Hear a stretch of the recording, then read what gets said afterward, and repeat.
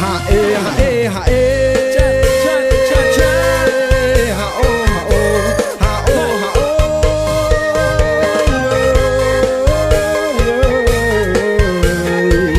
និយាយរឿងចៅភូមិនិយាយមកបងស្តង់ដានិយាយ បានបាទសូមអរកាយគោរពស្វាគមន៍ប្រិយមិត្តវិលមកកាន់ Channel YouTube Standard KX Official ហើយនៅថ្ងៃនេះ Standard KX Official បានវិលត្រឡប់មកវិញទៀតហើយហើយក៏បានដកស្រង់នៅជាព្រឹត្តិការណ៍កីឡាថ្មីថ្មីដើម្បីលើកយកមកជម្រាបចែកជូនដល់ពុកម៉ែបងប្អូនពូអ៊ំមីងមៀលោកយាយលោកតាសណ្ដាប់និងទស្សនាវីដេអូនៅក្នុង Channel Standard KX Official យើងខ្ញុំបើពេញចិត្តសូមកុំភ្លេចចុចជីវឬក៏ Subscribe ឬដាក់សញ្ញាកណ្ដឹងនោះពុកម៉ែបងប្អូននឹងទទួលបាននូវព័ត៌មានថ្មីជាបន្តបន្តទៀតនៅថ្ងៃនេះយើងមានជាសាច់រឿងថ្មីតាក់ទងទៅនឹងមេ One Championship ប្រកាសនៅឆ្នាំ2020នេះស្ថាប័នដ៏ធំរបស់ខ្លួននឹងរៀបចំកម្មវិធីប្រកួតរហូតទៅដល់ចំនួន50ដង សង្ឃឹមថាកីឡាករកម្ពុជាអាចនឹងមានឱកាសច្រើនបន្តចូលរួមប្រកួតប្រជែងនៅសង្វៀនលំដាប់កំពូលប្រចាំទ្វីបអាស៊ីមួយនេះនៅក្នុងសារ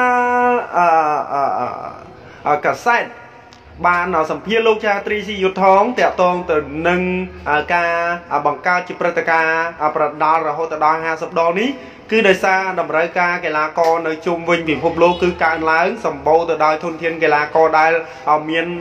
បច្ចេកទេសក៏ដូចជាកីឡាករខ្លាំងខ្លាំងអញ្ចឹងគឺ One Championship គឺត្រូវតែបន្ថែមអឺកម្មវិធីប្រកួតរបស់ខ្លួនឲ្យបានច្រើនតាមដែលអាចធ្វើទៅបាន រាល់ឆ្នាំគឺការប្រកួតគឺតិចណាមួយឆ្នាំព្រឹត្តិការណ៍នៃការប្រកួតបានត្រឹមតែ20ដងជាងអីទេតែឆ្នាំ2020នេះគឺព្រឹត្តិការណ៍នៃការប្រកួតរបស់ One Championship ជាស្ថាប័ន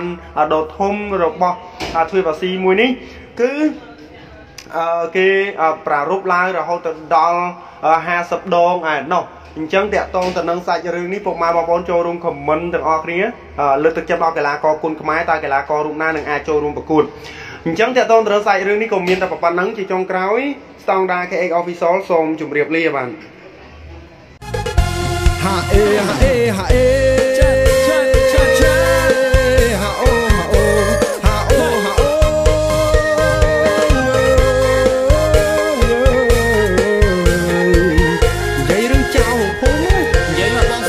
Niye yürü.